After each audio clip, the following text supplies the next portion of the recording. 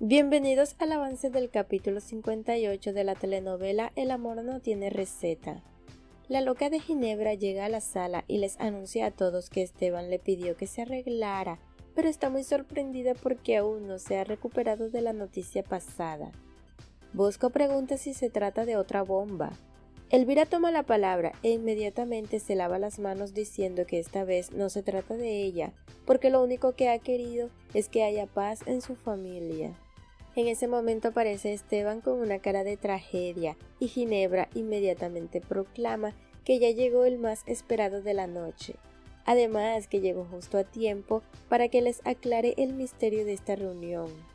Seguidamente le ordena a Paz que traiga los pasabocas a la mesa y ella inmediatamente acata sus órdenes, procediendo a llevar los platillos. Ginebra le pide que se los reparta a todos. Luego le pregunta a Esteban qué es eso tan importante que tiene para decirles. Esteban manifiesta que no dirá nada hasta que Paz reparta todos los pasabocas y se retire. Por su parte, ella está escuchando y mira de reojo todo lo que está sucediendo. Ginebra no está de acuerdo ya que eso no hace parte de sus planes y expresa que Paz es una empleada de confianza en la familia, así que le dice que no hay problema en que diga las cosas delante de ella. Pero Esteban sigue afirmando que no lo dirá delante de Paz, así que le pide a ella que vaya a ver cómo va la cena. Mientras tanto Ginebra lo está mirando con una cara de demonio. Luego le hace saber a Esteban que los tiene a todos con los nervios de punta, por lo que él se ve obligado a decirle a toda su familia que hay cosas en las que tiene que apresurarse. Posteriormente saca la caja de anillo de su bolsillo y todos los presentes se miran las caras unos a otros preguntándose qué pasará. Esteban le pregunta a Ginebra si quiere casarse con él, pero lo hace de una manera muy simple.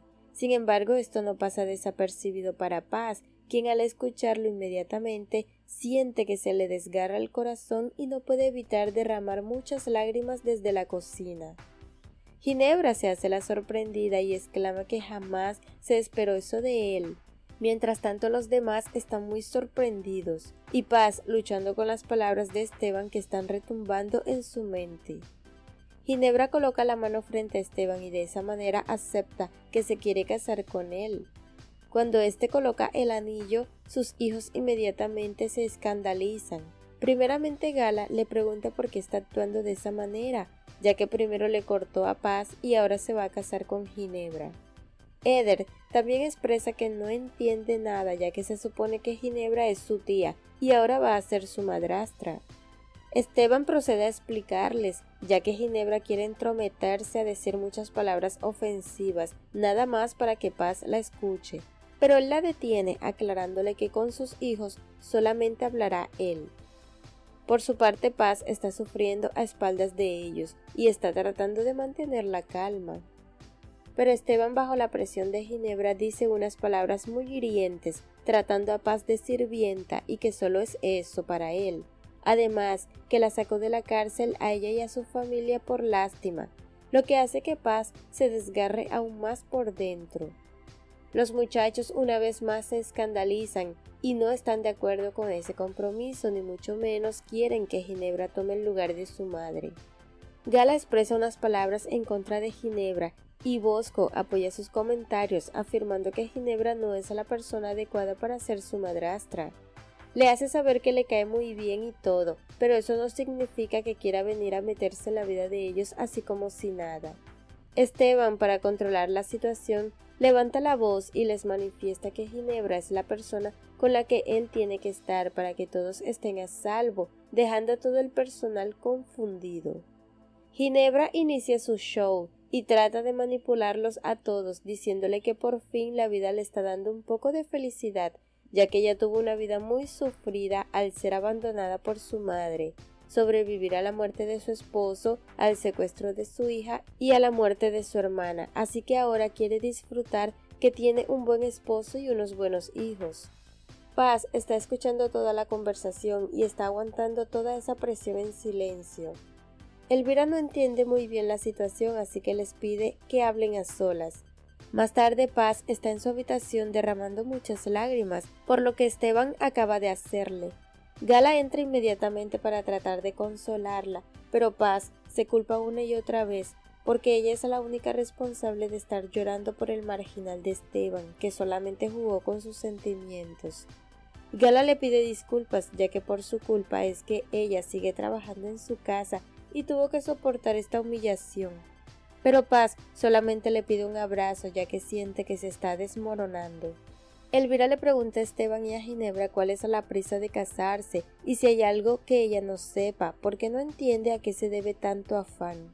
También le pregunta a Ginebra si está embarazada, a lo que ella le responde que no, y que simplemente tienen que casarse porque están esperando tener relaciones para el día de su boda. Esteban apoya sus comentarios y también afirma que simplemente quieren casarse lo más pronto posible. Elvira sigue sin comprender nada y exclama que no puede creer que sus dos hijas se enamoraron del mismo hombre. Entonces Ginebra, en un tono un poco enojado, le reclama porque está cuestionando sus decisiones a estas alturas de la vida, después de que la abandonó y no tuvo que ver con ella. Elvira se disculpa, pero exclama que no entiende absolutamente nada y solamente quiere que le expliquen la verdadera razón de sus decisiones. Esteban le dice que se va a casar con Ginebra porque ella es la mujer apta para estar dentro de la familia. Ella también expresa que tienen muchas cosas en común y eso los hace una pareja perfecta. Esteban no soporta más sus palabras, así que se retira de la habitación sin decir nada más Elvira trata de seguir hablando con Ginebra, pero ésta le dispara con tres piedras en la mano, recordándole que por culpa de su abandono no se imagina lo que tuvo que pasar para salir del lodo y llegar hasta donde está. Además, le hace saber que fue abusada, a lo que Elvira intenta acercarse a ella para consolarla. Pero Ginebra no se deja tocar y le dice que no necesita lloriqueos ahora, sino que actúe y le dé todo su apoyo, manipulando de esa forma a su madre para que no complique más las cosas y haciendo que Elvira finalmente acepte su matrimonio con Esteban. Los muchachos están en la sala cuestionándose por qué su padre toma ese tipo de decisiones tan locas. Eder se levanta y comienza a preguntarle a sus hermanos si no les parece raro de que su padre haya roto su relación con Paz y de la nada se enamoró de Ginebra y se van a casar. Gala también exclama que ella no cree que nada de eso sea amor y más bien hay algo que les están ocultando. Jerónimo, como no quiere involucrarse mucho en el asunto, expresa que cada quien actúa como quiere, pero Bosco le pide que no piense de esa manera ya que él hace parte de la familia y necesita que les dé su opinión respecto a lo que está pasando. Por otra parte, Paz se encuentra llorando desconsoladamente y en ese momento llega Esteban diciendo que merece que lo odie. Paz le hace saber que lo odia tanto que quisiera morirse, pero ni siquiera puede hacerlo. Esteban trata de lamentarse frente a ella, insinuando que a él también le está pasando lo mismo. Pero como Paz no entiende nada de lo que Esteban está haciendo, simplemente expresa todo el resentimiento que tiene hacia él y le pide que no le explique nada. Esteban se acerca a ella y le pide perdón una y otra vez, pero en ese momento Paz toma mucho valor y le grita en su cara que si la quería ver humillada lo logró, porque la ha lastimado en lo más profundo de su corazón, y eso no se lo va a perdonar nunca, así que de ahora en adelante él va a ser un completo desconocido para ella, y le grita que ha sido lo peor que ha conocido, por lo que solamente se va a enfocar en buscar a su hija y no estar perdiendo el tiempo con un hombre que no vale nada que solamente buscó su punto débil para humillarla y restregarle en su cara que se va a casar con otra mujer. Él trata de acercarse a ella y le dice que la ama, que no ha podido olvidarla, pero Paz no le cree ni una sola palabra y llena de rabia lo empuja y lo golpea muchas veces para que no se le acerque. Luego le pide que se largue de su vista ya que no lo soporta ni un instante más. Esteban de la desesperación quiere confesarle que Ginebra lo tiene atado de pies y manos, pero Paz, como está tan destrozada y no le cree nada, no lo deja ni hablar y solo le pide que se vaya con Ginebra, ya que ella fue la mujer que escogió y a ella solamente la utilizó para jugar. Aunque Esteban le dice que eso no es cierto, ya que él la ve como una mujer íntegra, Paz no lo escucha y le dice que si sus palabras fueran cierto, no le hubiera partido el corazón de esa forma.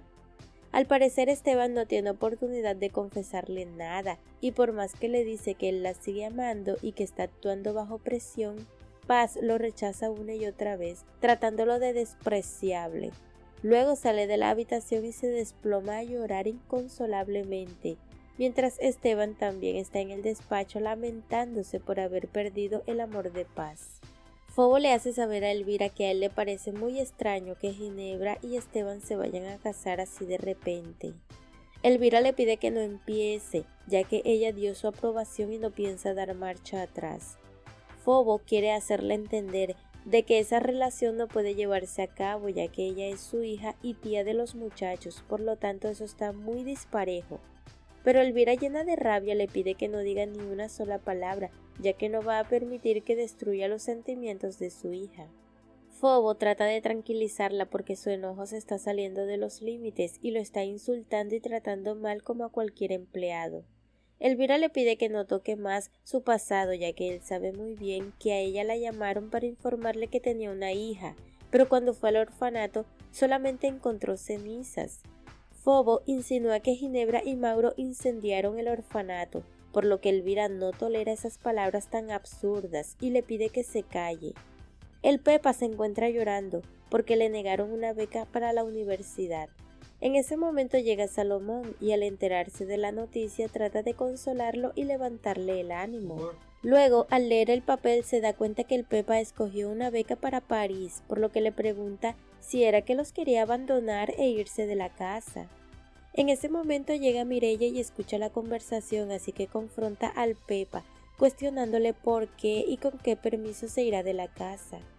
El Pepa abre su corazón y le confiesa a su madre que él tiene otras aspiraciones, así que no puede quedarse en ese barrio.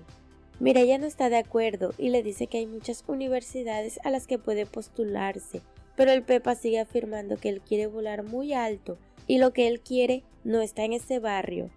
Mireya no quiere que él se vaya ya que él es el más listo de todos y no sabe qué harían sin él. El Pepa le tira en cara que la verdad es que él se avergüenza de ese barrio y quiere algo mejor, así que va a luchar por él, y nada más por él. En ese momento aparece Fermín queriendo saber qué es lo que está pasando, pero Salomón inmediatamente le pide que no se meta ya que están resolviendo un asunto familiar. Mireya le expresa a su hijo Pepa que está decepcionada de él ya que no puede creer que los vaya a dejar así como así.